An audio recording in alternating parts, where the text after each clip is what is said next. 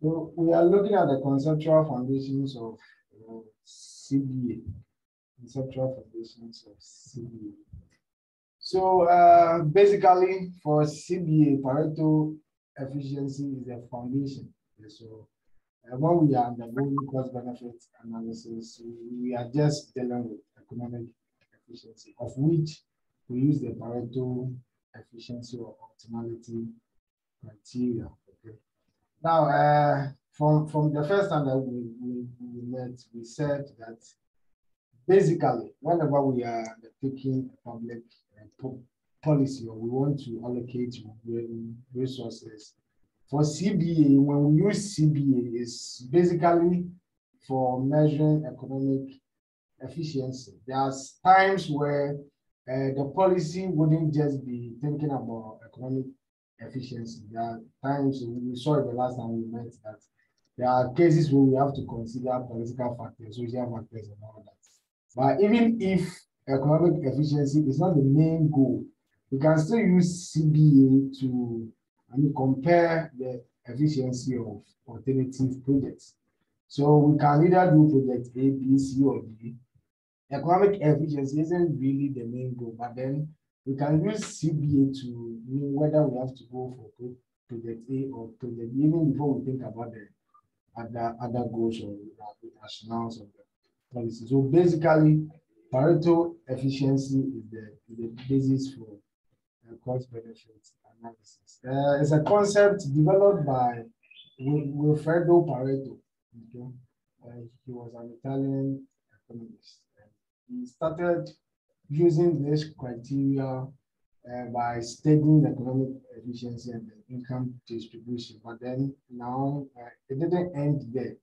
Modern economists and other uh, social scientists are also using this criterion to do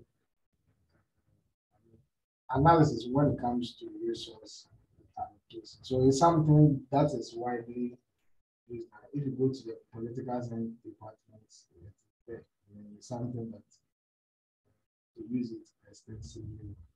So I, I'm sure from micro last semester, you guys have a fair idea of what Pareto efficiency is. Let's look at the de definition. An allocation of goods is Pareto efficient. At times we call it uh, Pareto optimal.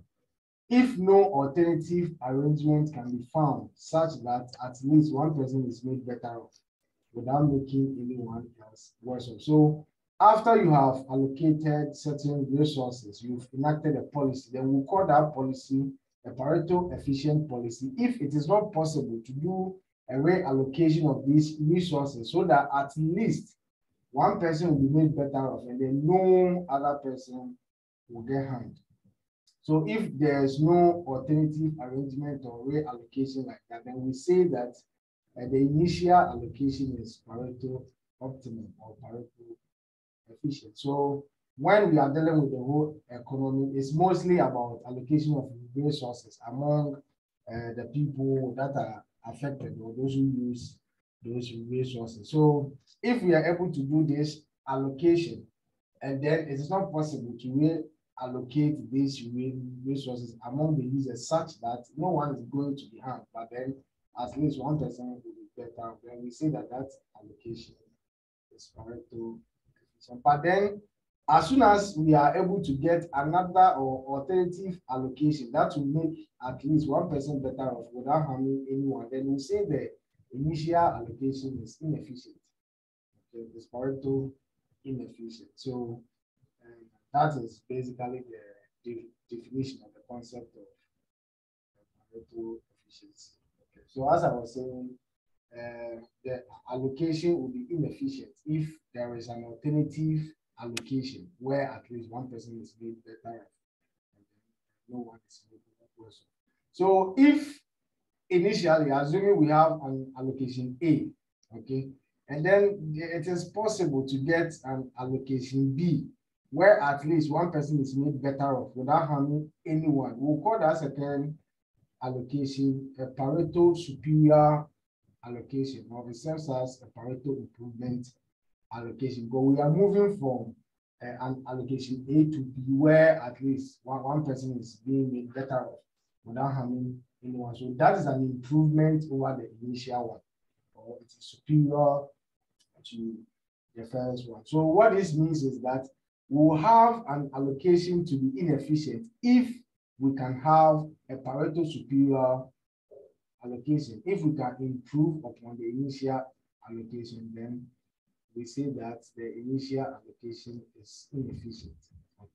Inefficient. The Pareto efficiency concept deals with consensus. It is it's like all those who are affected by the allocation will come into an agreement. So if we are not in agreement and at least one person is being made the better without harming anyone, say that what we have done is Pareto uh, efficient. Uh, this concept, I think one issue is that it doesn't really consider interpersonal uh, welfare. What exactly is happening to individual? We are unable to compare those, but irrespective of these challenges, this is the most widely concept that will be used when it comes to economic efficiency. Okay. So a Pareto optimum or efficient allocation is where is a situation in which no Pareto improvement is possible. So after the allocation, we've realized that it is not possible for us to improve. Okay, there is no way we can have a Pareto improvement or a Pareto superior allocation. If that's the case, then we say that we have Pareto. And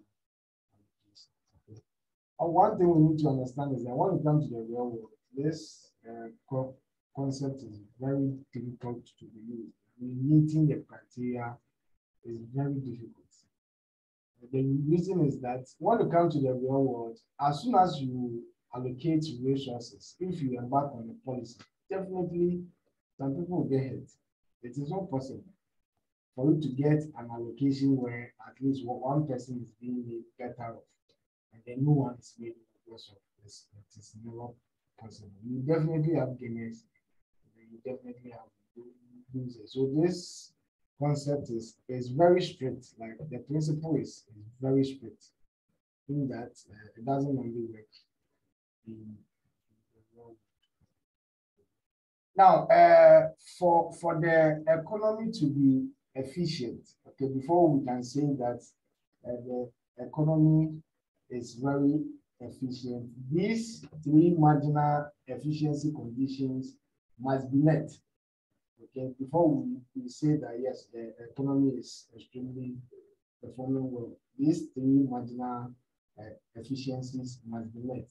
So before we get this Pareto efficient, then all these conditions are supposed to be intact before uh, any allocation in the economy considered as Pareto optimal or efficient. The first one is production efficiency.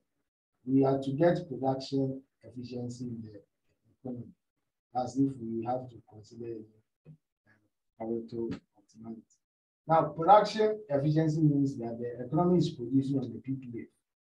Okay, we are producing on the PPA. So we are using all the available resources to produce the maximum output that we can produce. Okay, so we should have production efficiency. And there should also be exchange efficiency. Exchange efficiency means that there is no available uh, mutually beneficial trades that can be made between the economic agents. Just know that uh, there's always a trade. We exchange commodities. Okay, so if up to a point we've exchanged all these commodities, and then there is no other alternative trade. There's no other alternative exchange where at least one transactor will be made better off without harming the other transactor. Then we, we that the exchange that we have done is efficient. So before the economy will be efficient, we should have this exchange efficiency. It shouldn't be possible for us to trade in a different way again, where at least one economic agent is made better without harming anyone.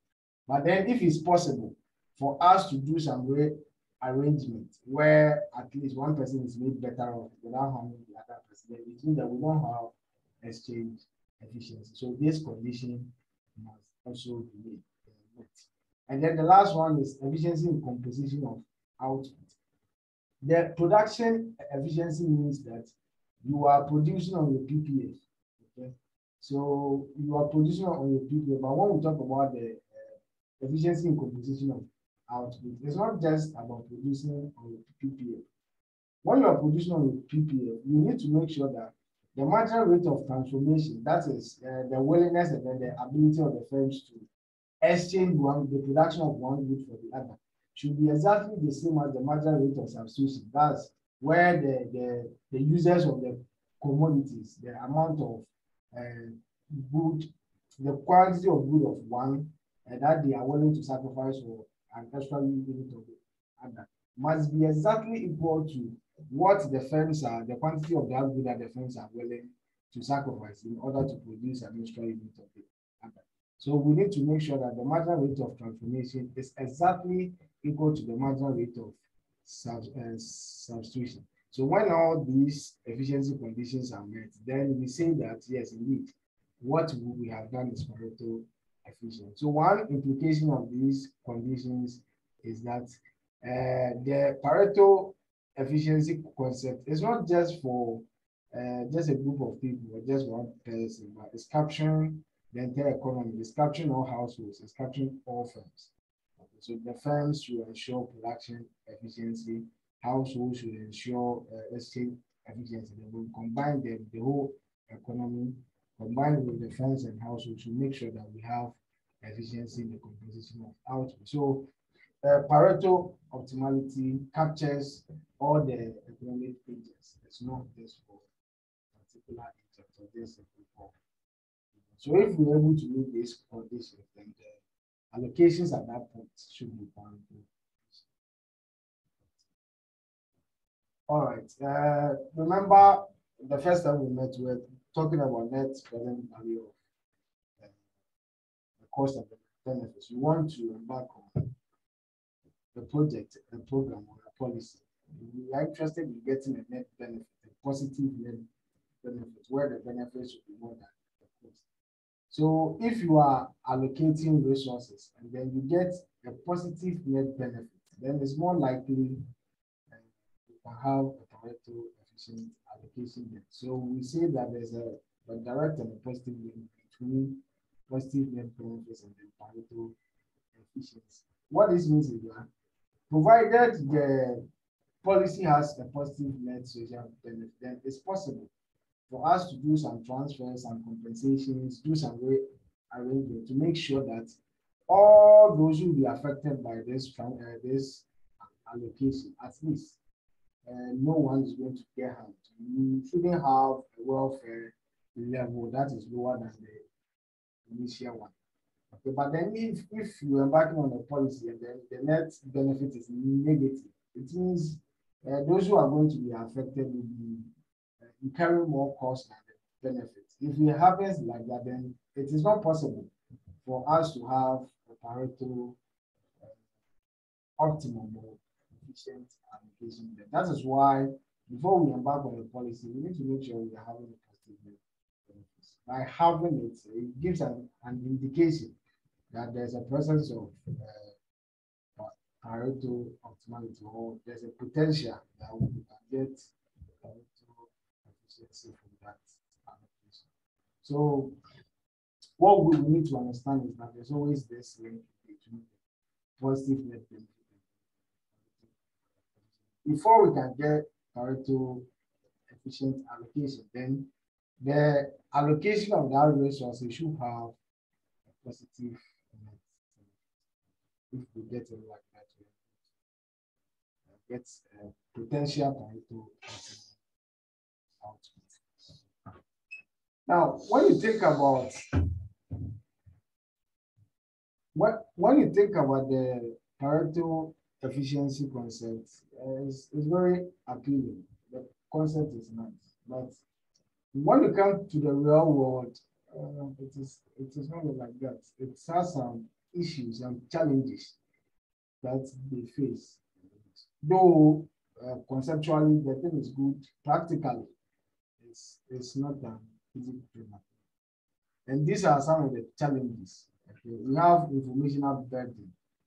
the CBA analyst. Assuming you are just one person doing CBA for a public project, and this project is capturing the entire nation, can you imagine the, the kind of information you, you have to gather on cost and benefit? So you have to get all the various individuals, get uh, what are the, all the impacts, the benefits, the cost. I mean, it's, it's not going to be an easy task.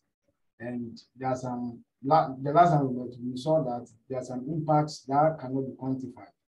Okay, those that cannot be measured in monetary terms. You have to sit down and I mean know how to measure.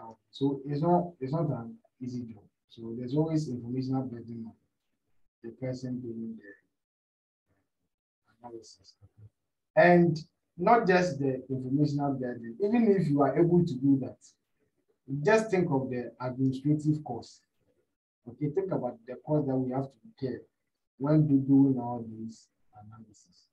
Okay, we have to, we said that if the project has a positive net benefit, then it is it is very possible that just a minimum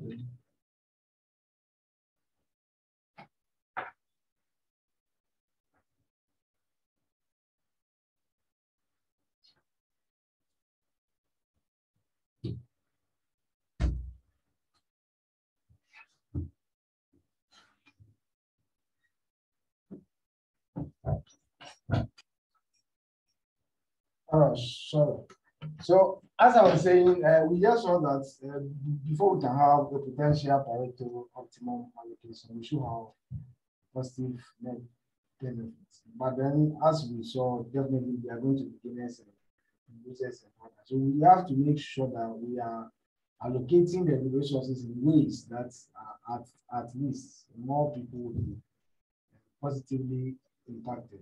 look at the, the cost involved, the kind of financial burden that will come upon the family. So that one too is another issue that we face. And now uh, another uh, thing is that now if people are aware that after the policy and they report that they've been negatively impacted, we have to effect transfers. People are supposed to receive compensations and all that. As long as people see that, you know what they will do they will under, understate their the, the benefits and they overstate their cost.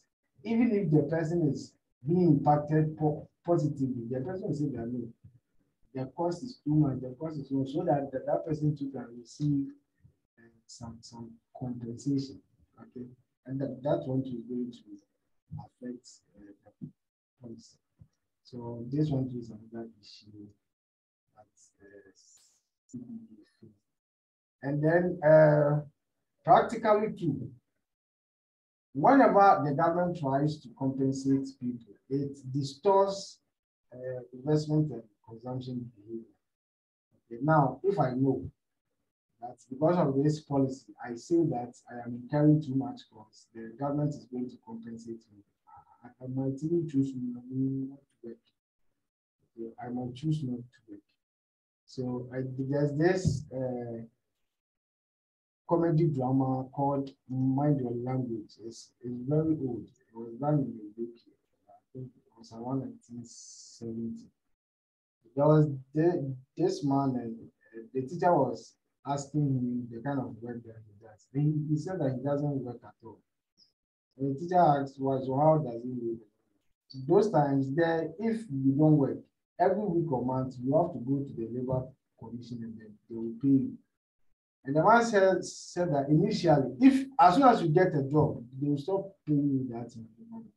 And the man said initially the work that he was doing, the pay was lesser than the one that uh, he gets from the labor commission. So now he has decided not to work at all.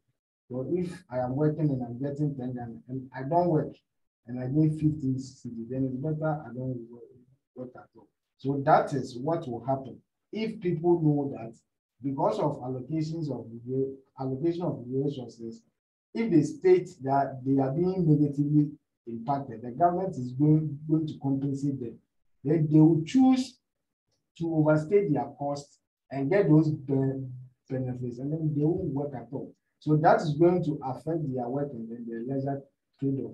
Instead of working, they will rather choose to go for leisure. And that is going to distort the investment process. Okay, people are not working. If people are not working, output will fall, and then you see what is going to ha happen. Price will go up. It will have an adverse effect country as a whole. So the, the, this is one issue that is associated with CBA. Now, uh, we have seen that practically, if you come to the real world, it's very difficult for you to uh, actually get an allocation where no one is made worse off. Eh, it is almost impossible. So we have something called the potential Pareto optimality. Kaldor efficiency. It was named after Nicholas and For, for this criterion, they, they, they still base their criterion on the Pareto optimality, but then they believe and they accept that definitely after the allocation of resources, some people will be made worse off and others will be made better off. So after the allocation, let's just make sure that those who were made better off will compensate those who were made worse off so that at least, at least, no one will be made worse off than before the the, the allocation. So assuming initially uh, the welfare was 10 for all, and then after the allocation, half of the people are now getting the welfare of 20, and then half are now getting welfare of, let's say, 8. So now those people are made worse off because their welfare now is lower than the initial one. So what, what, what the Kaldor-Hicks predicts is that we can get a potential Pareto efficient allocation if those who are better off now, those who are having a welfare of 20, should compensate those who are having uh, those whose welfare now are lower than the initial one. So if those with the 20 can at least give two units of welfare to those who have eight now, then they will come back to their initial welfare before the allocation. So if it happens like that, then those with the 20 will now come to 18. Then those with the 8 will go to 10. So people have made better off, and no one has been made worse off. I, I, I hope you understand the concept. Okay, so definitely, some people will be made worse off, but then uh, we talk to those who are made better off, and then they will have to compensate, give something to those who are made worse off, so that at least they'll go back to their initial level of warfare without losing anything at all. Okay, without losing anything. So at least if we can do that, we have already done the allocation.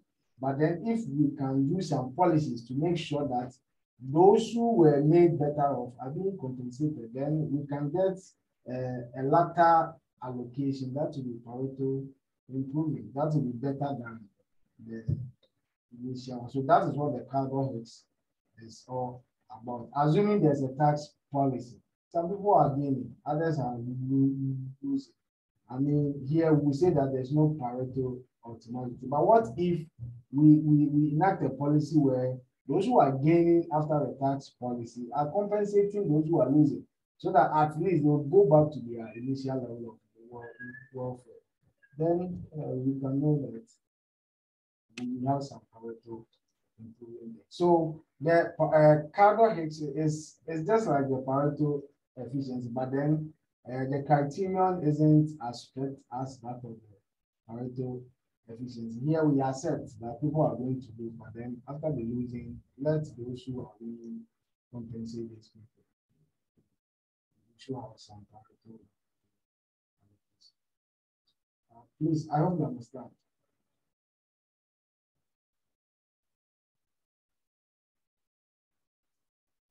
Hello. Yes, sir. Okay,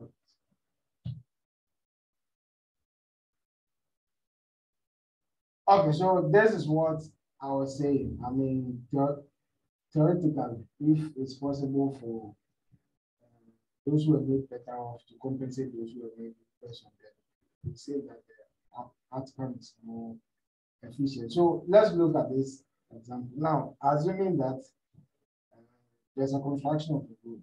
Okay, the government is the buyer, the the producer. They are causing pollution. So if that's been the case, it means that though it's possible the government and then the firm, the construction firm are being made better off. Those who are living around the area are being made worse off.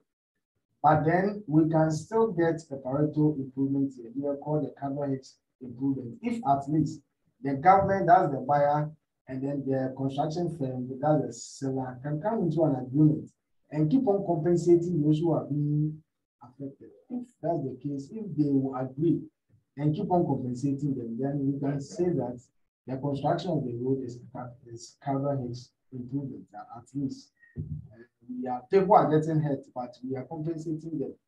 So I mean, on the average, no one is uh, at least. So though the policy will be hurting people because of the compensation rearrangement, they are able to get an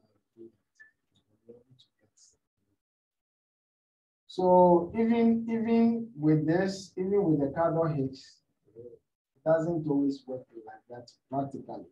After the policy, even if you want to compensate people, they are, they, there are so many cases where the people will not be fully compensated. They wouldn't be fully compensated. I mean, even if you are supposed to receive thousand, you know, you know our country here people will receive the thousand, but those who are supposed to receive the thousand will even have less than which means that they are still being made question. But then, if we can at least, in theory, hypothetically speaking, uh, try to compensate them, then the Kaldor-Hicks stand. Practically, that one too is not that. But at least this one is the best stringent task compared to the normal character. But now, uh, most of the times when we adopt policies, okay, we, we, we try to maximize societal welfare or societal wealth. We aggregate all the people that are affected by the allocation. Then we know that generally, without uh, talking about individual impact.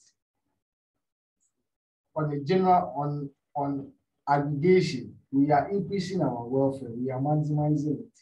Okay, though when when we go to the individual level, some people are being made rich, others are being made poor.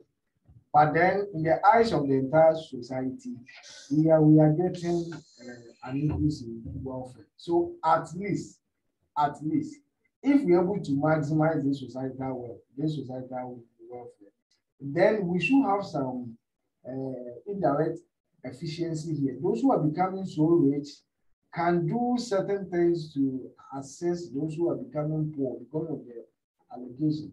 One thing that they can do is that they can invest their riches and then the poor people will come and also enjoy some. There will be spillover effect from the investment from those who were made rich. And by doing so, there's going to be a distribution of income. So the richer in the society are now investing, we are taking the poor people to work for them. So by doing so, see that indirectly, even those who are made worse off are also receiving something because of that allocation. Okay, because of that. So uh, there's one justification for the Kaldor-Hicks. I mean, on a general note, we are maximizing our society and we expect a spillover effect. And then another justification too is that you see, it, we don't enact only one policy. We have different policies, different allocations. And all these different allocations, you have different gainers and losers. So we just group the people into two. We are embarking on 10 policies. It's possible that for five of the policies, the first group will be gainers, and the other group will be losers. Then for the next five, the second group will rather be gainers, and then the first group will be losers. So you see that on the average, no one is being made worse off. Okay, this person is benefiting from this and losing from that. The other person to the things otherwise. So it will be like on the average, at least we are all gaining somewhere We are all losing somewhere. This free SHS suggested. some people are gaining, some people are losing. Now they are saying they, they want to cancel the two uh, this toll thing that they pay on the road. Some people are gaining, some people are losing. So it's possible the person who gained from the free SHS, you take take those people who, who sell the, the bread at uh, just to toll booth that a Mensa. See, it's possible that that person has children who are enjoying the free SHS. Now, if they are not paying any there, they, they cannot sell their bread. So you see that they, they, they were gamers with the free SHS. Now they are losing. So basically tax them. So on the average, the person hasn't. So the money that you were supposed to get from selling the bread and use it to pay the child's fees. Now you are not paying the, the fee. So even if you don't get the money from the bread, it doesn't matter on the average. So that is another justification. And also, uh, another one is that if we believe in egalitarianism, where we believe in equal rights and justice for all, then, I mean, after a policy, we can effect transfers to make sure that we are addressing inequity and equal distribution of uh, resources. We have already allocated the resources. We've seen those who are being made worse off. So we have to effect some compensation. If we believe equality for all, then we have to try and do some transfers, effect compensation that will at least uh, also increase the welfare of those who are so uh, these are some of the advantages of why people are in favor of the Kaldor-Hicks. criteria. All right, so uh, this uh, discussion something identify and discuss for the deficiencies associated with the Pareto optimality concept. So just just try your hands on this. Just.